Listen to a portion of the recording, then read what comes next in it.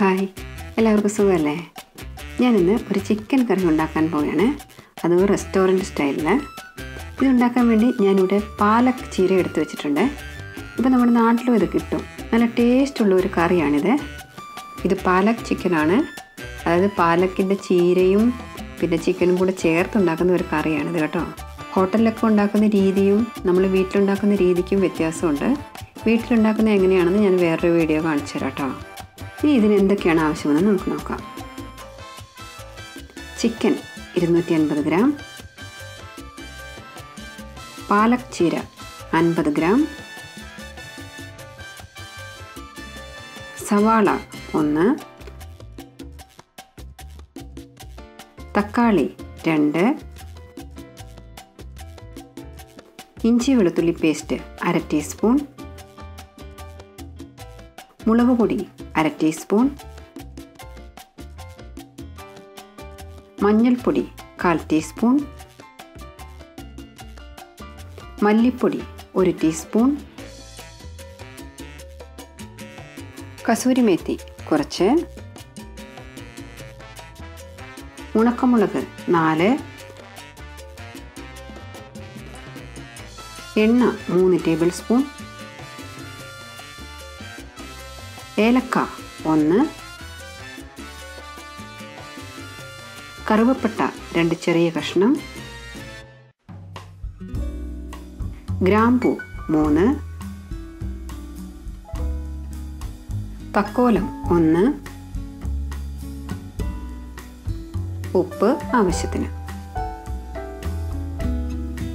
ഇനി ഇത് എങ്ങനെയാണ് ഉണ്ടാക്കുന്നതെന്ന് നമുക്ക് നോക്കാം.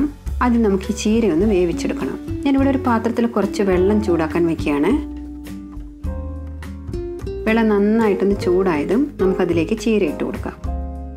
ഈ ചീരയുടെ ഇല ഒന്ന് വാടിയാൽ മാത്രം മതിയേ. ഈ ചീരയുടെ കളറൊക്കെ ഒന്ന് മാറിയിട്ടുണ്ട്.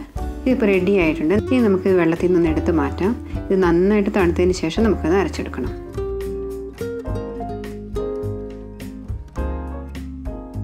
കണ്ടില്ലേ ഞാൻ ചീര നന്നായിട്ടൊന്ന് അരച്ചെടുത്തിട്ടുണ്ട്. ഇനി നമുക്ക് ഇതുകൊണ്ട് എങ്ങനെയാണ് കറി ഉണ്ടാക്കുന്നതെന്ന് നോക്കാം. ഞാനിവിടെ ഒരു ചീനിച്ചട്ടി ചൂടാകാൻ വെച്ചിട്ടുണ്ട്. ചീനിച്ചട്ടി ചൂടായതും നമുക്കതിലേക്ക് മൂന്ന് ടേബിൾ സ്പൂൺ എണ്ണ ഒഴിച്ചു കൊടുക്കാം.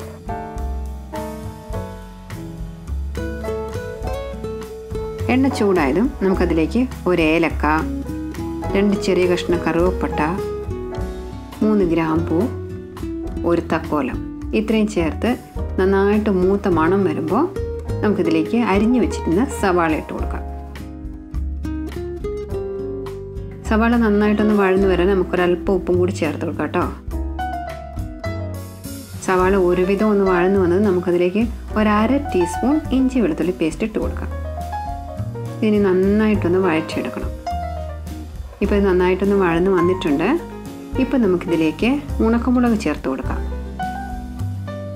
കൂടെ തന്നെ മഞ്ഞൾപ്പൊടിയും മുളക് പൊടിയും മല്ലിപ്പൊടിയും ചേർക്കാം. എരിവ് കുറച്ചുകൂടി വേണമെന്നുണ്ടെങ്കിൽ നിങ്ങൾക്ക് രണ്ട് പച്ചമുളക് കൂടി ചേർക്കാം. ഇപ്പോൾ നന്നായിട്ടൊന്ന് വഴന്നിട്ടുണ്ട്. മസാലപ്പൊടിയുടെ ആ പച്ച മണമൊക്കെ ഒന്ന് മാറിയിട്ടുണ്ട്. ഇനി നമുക്കിതിലേക്ക് അരിഞ്ഞു വെച്ചിരുന്ന് തക്കാളി ചേർത്ത് കൊടുക്കാം. ഇതെല്ലാം കൂടി നന്നായിട്ടൊന്ന് ഇളക്കിയിട്ട് നമുക്ക് കുറച്ച് നേരത്തേക്ക് ഇതൊന്ന് അടച്ചു വെച്ച് വേവിക്കാം. ഇപ്പോൾ തക്കാളിയൊക്കെ നന്നായിട്ട് സോഫ്റ്റ് ആയിട്ടുണ്ട്. ഇനി നമുക്കിതിലേക്ക് ചിക്കൻ ഇട്ട് കൊടുക്കാം. ഇപ്പം നമുക്ക് കുറച്ച് ഉപ്പ് കൂടി ചേർത്ത് കൊടുക്കാം. ഇതെല്ലാം കൂടി ഒന്നുകൂടെ ഒന്ന് നന്നായിട്ട് ഇളക്കിയിട്ട് നമുക്ക് കുറച്ച് നേരത്തേക്ക് ഒന്ന് അടച്ചു വെച്ച് വേവിക്കാം. കണ്ടില്ലേ ചിക്കനിലുണ്ടായിരുന്ന വെള്ളമൊക്കെ ഇറങ്ങി ചിക്കൻ നന്നായിട്ടൊന്ന് വെന്ത് വന്നിട്ടുണ്ട്. ഇനി നമുക്കിതിലേക്ക് പാലക് ചീര അരച്ച് വെച്ചിരുന്നില്ലേ അത് ഒഴിച്ചു കൊടുക്കാം. ഇപ്പോൾ ഉപ്പ് വേണമെന്ന് നോക്കിയിട്ട് വേണമെന്നുണ്ടെങ്കിൽ ചേർത്ത് കൊടുക്കാൻ മറക്കരുത് കേട്ടോ. കടയിൽ ഇതിന്റെ കളറൊക്കെ ഒന്ന് മാറിയിട്ടുണ്ട്. നിങ്ങൾക്ക് ഈ കറിക്ക് നല്ല ഗ്രേവി വേണമെന്നുണ്ടെങ്കിൽ ഇപ്പം തന്നെ സ്റ്റൗ ഓഫ് ചെയ്യണേ. ഞാനിത് കുറച്ചുകൂടി ഒന്ന് വറ്റിച്ചെടുക്കാൻ പോയാണ് ഇനി ഞാനൊരല്പം കസൂരി മേത്തി കയ്യിലെടുത്തിട്ട് കൈ കൊണ്ട് തന്നെ നന്നായിട്ടൊന്ന് പൊടിച്ച് ഈ കറിയിലേക്ക് ചേർക്കുകയാണ്. കസൂരി മേത്തി എന്ന് പറഞ്ഞു കഴിഞ്ഞാൽ ഉലുവ ചീര അതായത് ഉലുവയുടെ ഇല ഉണക്കിയത്. നിങ്ങൾക്ക് വേണമെന്നുണ്ടെങ്കിൽ അല്പം മല്ലിയില കൂടെ എന്റെ മുകളിലേക്ക് ചേർക്കാം കേട്ടോ. അപ്പോൾ നിങ്ങളെല്ലാവരും ഇത് ഉണ്ടാക്കി നോക്കണേ. ചപ്പാത്തിയുടെയും ദോശയുടെയും കൂടെയൊക്കെ കഴിക്കാൻ നല്ല ഒരു കറിയാണ് കേട്ടോ ഇത്. നിങ്ങൾക്ക് ഈ വീഡിയോ ഇഷ്ടമായെന്നുണ്ടെങ്കിൽ ലൈക്ക് ചെയ്യാൻ മറക്കരുത്. അതുപോലെ തന്നെ ഷെയർ ചെയ്യാനും സബ്സ്ക്രൈബ് ചെയ്യാനും മറക്കരുത് കേട്ടോ. നിങ്ങൾ ആദ്യമായിട്ടാണ് എന്റെ ഈ വീഡിയോ കാണുന്നതെന്നുണ്ടെങ്കിൽ സബ്സ്ക്രൈബ് ചെയ്യാൻ മറക്കരുത്.